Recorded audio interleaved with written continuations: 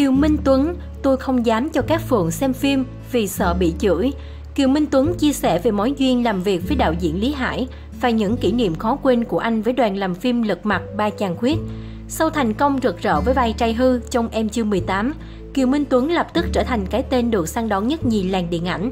Tiếp tục gây dấu ấn với nhiều vai diễn hài hước, nhưng phải đến lật mặt ba chàng khuyết của Lý Hải, Kiều Minh Tuấn mới được khán giả nhìn nhận là có khả năng diễn xuất đa dạng, khéo lấy nước mắt khán giả ở những phân đoạn xúc động. Lần đầu làm việc cùng Lý Hải và ekip của giọng ca Trọn đời bên em, chàng lọc què trong phim chia sẻ nhiều về sự kính phục và tin tưởng anh dành cho vị đạo diễn. Được biết trước đây Kiều Minh Tuấn đã được Lý Hải mời hợp tác, nhưng phải đến lật mặt ba chàng khuyết. Mới là lần hợp tác đầu tiên của hai người, nhất là sau thành công trong phim này, anh có nghĩ mình là gà cưng của Lý Hải.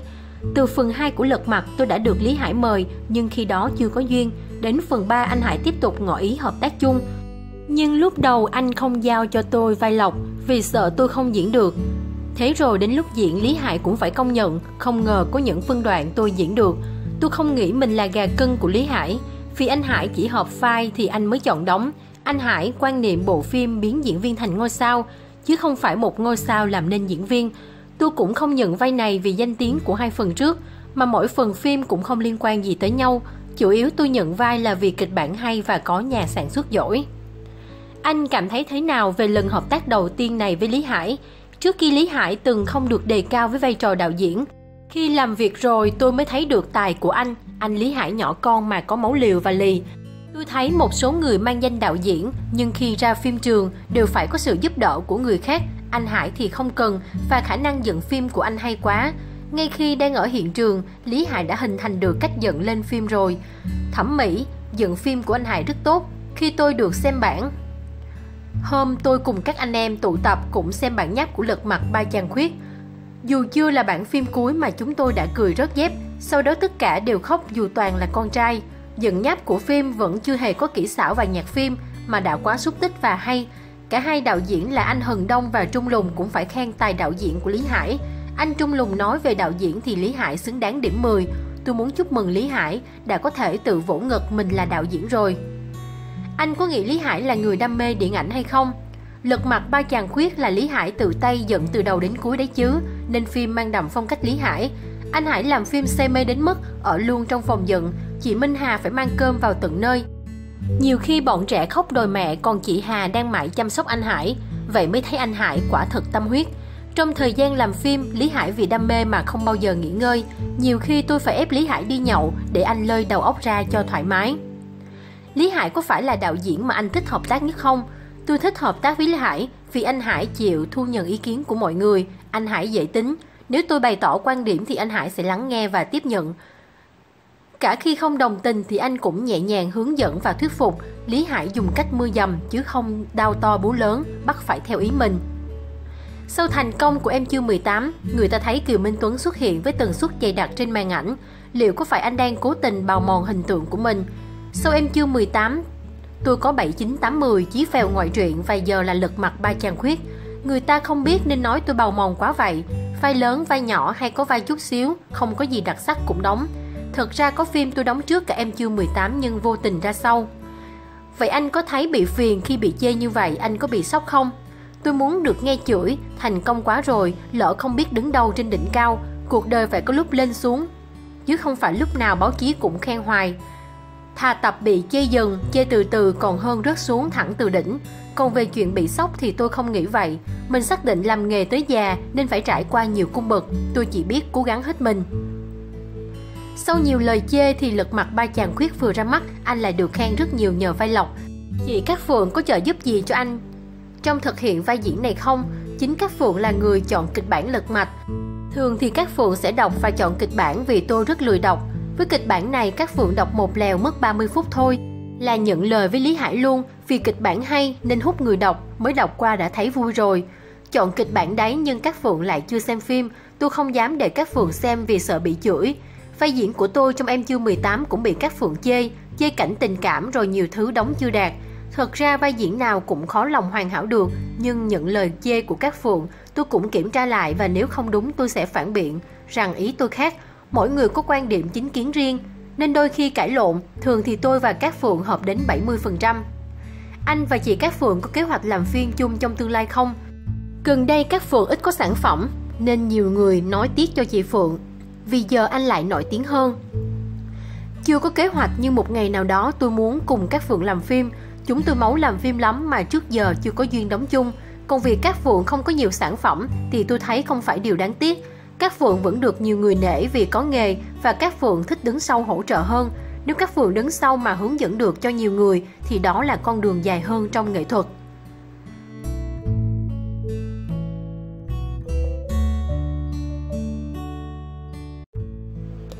Đan trường tiêm và loạt sau việc soái ca vạn người mê, xin quý tử cũng đẹp trai không kém, đúng là cha nào con nấy. Thừa hưởng nhiều nét đẹp từ bố, con trai của loạt Mỹ Nam Việt cũng xinh xắn đáng yêu ngay từ nhỏ. Đan Trường là năm thần tượng một thời của rất nhiều khán giả mỗi tầng lớp, đặc biệt là thế hệ 8X và 9X. Với hàng loạt những bản hit khủng làm trao đảo làng nhạc Việt, hiện tại đã ở tuổi 41, anh còn được gọi là Mỹ Nam không tuổi vì diện mạo trẻ trung, ngoại hình nổi bật như thế. Bảo sao quý tử nhà Đan Trường cũng là hot boy nhí trên mạng xã hội vì quá xinh xắn và đáng yêu. Con trai của Đan Trường và bà xã Thủy Tiên có tên là Thiên Từ, bé hiện đã được hơn một tuổi và sở hữu nhiều nét đẹp giống người bố nổi tiếng. Khuôn mặt bầu bỉnh thông minh lanh lợi của Thiên Từ đúng tim hàng loạt khán giả. Quả không hổ danh là con trai của anh Bo, vừa nhìn đã biết là soái ca tương lai rồi đây. Ít tuổi hơn Đan Trường nhưng Ngô Kiến Huy cũng là một trong những ca sĩ có lượng fan girl đông đảo. Ngoại hình thư sinh điển trai của chàng bắp chiếm trọn trái tim của biết bao cô gái. Mối tình ồn ào giữa Ngô Kiến Huy và em gái Thanh Thảo từng gây rung động showbiz. Bé Jackie Minh Chí ra đời, nhưng nam ca sĩ lại phú nhận tình yêu với Thủy Anh. Trong một bài phỏng vấn vào năm 2012, Ngô Kiến Huy thừa nhận Jackie là con trai mình và khẳng định cậu bé rất đẹp, thông minh, lớn lên sẽ trở thành một chàng trai khôi ngô tuấn tú. Quả thật bé Jackie Minh Trí càng lớn càng giống bố. Nét thông minh lém lĩnh được đúc khuôn từ Ngô Kiến Huy. Từ khi lập gia đình với Trương Quỳnh Anh, Tim cũng là một trong những mẫu bạn trai lý tưởng trong lòng các cô gái trẻ. Vẻ điển trai hào hoa của nam ca sĩ di truyền sang cho cậu quý tử đầu lòng. Bé Cát An còn gọi là Sushi cực kỳ dễ thương khấu khỉnh với mái tóc xoăn ngộ nghĩnh. Tim và bé Sushi là một trong những cặp cha đẹp con đẹp nhận được nhiều sự ngưỡng mộ của khán giả. Ân Hoàng Phúc bên con trai Johnny, nhóc tỳ nhà ân Hoàng Phúc mới hơn một tuổi rất bụ bẩm và đáng yêu. Nhiều người nhận xét bé Johnny càng lớn càng như bản sao của bố. Thành Đạt sở hữu khuôn mặt nam tính chững chạc rất được lòng phái nữ, trong khi đó bé Kit, con trai đầu của anh và Diệp Bảo Ngọc cũng sở hữu mái tóc xoăn đẹp như các tài tử xứ Hàn và khuôn mặt thông minh lanh lợi. Khó ai có thể làm ngơ trước vẻ hiếu động đáng yêu của quý tử nhà Thành Đạt. Càng ngày bé Kit càng khôi ngô điển trai chẳng kém bố. Được chồng hết lòng chăm sóc, Tú Phi vẫn khóc cả tiếng trong hai tuần đầu sau sinh vì tuổi thân. Dù không đến mức bị trầm cảm, nhưng trong hai tuần đầu sau sinh, ngày nào diễn viên Tú Vi cũng khóc cả tiếng vì tuổi thân, tự ti về thân hình của mình. Cuộc sống của Tú Vi khiến bao người ngưỡng mộ vì có một người chồng yêu thương tâm lý. Đặc biệt sau khi Tú Vi mang bầu và sinh con, văn Anh luôn yêu thương chăm sóc vợ nhiều hơn đến nỗi thân hình gầy hơn trước. Được chồng và gia đình chăm sóc chu đáo là thế, nhưng Tú Vi vẫn trải qua thời kỳ buồn bã tuổi thân sau sinh. Những cảm xúc đó cũng giúp cô hiểu và đồng cảm hơn với những bà mẹ bị trầm cảm sau sinh. Tú Vi chia sẻ, trước khi chưa có con, Tú Vi có nhiều thú tiêu khiển, ít khi để bản thân rơi vào bế tắc. Nhưng sau khi sinh con khoảng 2 tuần đầu, đêm nào cũng ngủ 2-3-4 tiếng gì thôi, mà còn không thẳng giấc. Cộng thêm việc ở cử không được làm này làm kia, không được tắm chỉ được lau mình, không được gội đầu, không được ăn gì ngoài cơm thịt heo, không được xài điện thoại nhiều, không coi tivi, không được đi đâu. Chỉ cho công ty hút sữa thay tả, rửa bình, dỗ con ngủ và quy trình đó lặp đi lặp lại ngày 8 lần. Cộng thêm 2 tuần đầu vết mổ còn đau, đi chậm ngồi khó, nằm thì không nghiêng được, mơ ước ôm cái gói ôm thôi mà cũng 10 tháng rồi không làm được, đứng lên ngồi xuống cũng đau. Hồi xưa thì đi đâu làm gì cũng có nhau, cùng nhau giải quyết công việc, cùng nhau rong rủi trên đường xa đường gần. Bây giờ thì dính chặt trong phòng, bao nhiêu là việc không làm được. Ngồi đó và mỗi lần cứ nghĩ như thế là khóc. Hai tuần đầu tiên ngày nào cũng khóc cả tiếng. Cứ mỗi khi Văn Anh bước khỏi nhà đi công việc là Vi lại nghĩ và lại khóc. cũng không hiểu lúc đó tại sao lại khóc. Tâm trạng thì vô cùng buồn bực, người thì đau nhức mệt mỏi, ngủ thì không ngủ được, ăn thì không ăn được. Tất nhiên đi xem phim cà phê này kia là quên đi, lại còn chưa kể nhìn thân hình của mình thì buồn hơn, không có thú tiêu khiển, và những suy nghĩ tiêu cực đến biến Vi thành một con người ủ dột, mệt mỏi và buồn bã. Nhìn hình ảnh cũ của mình trong những chuyến đi mà cảm giác tiếc nuối, không biết chừng nào mình mới được đi nữa. Cứ như thế khoảng 2 tuần thì Vi thấy không ổn. Vi bỏ bớt kiên cử, Vi tắm nước ấm thật nhanh cho đỡ bức rứt. Mấy ngày thì Vi lại ngâm chân với nước muối ấm mỗi khi thấy khó chịu, cho thư giãn. Vi mở nhạc không lời nhẹ nhàng nghe cả ngày hoặc Vi xem show của các đồng nghiệp chơi. Vi xem TVB để có cảm giác nhẹ nhàng bình ổn.